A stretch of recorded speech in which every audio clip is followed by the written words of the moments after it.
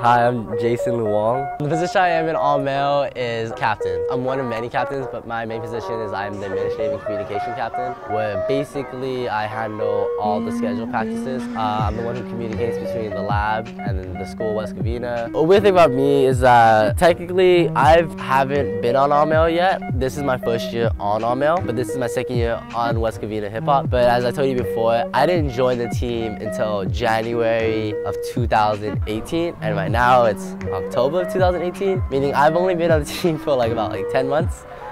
The way I got all male is really different from the way most people got all male. The way I got into all male was invitation. I actually never even got to try out for all male.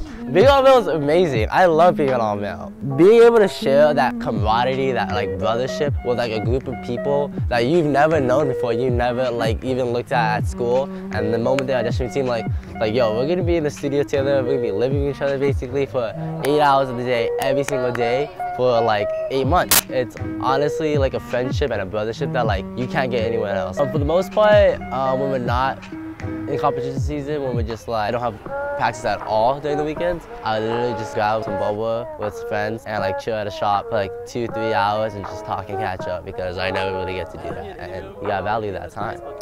If you feel like you're too busy, you're not.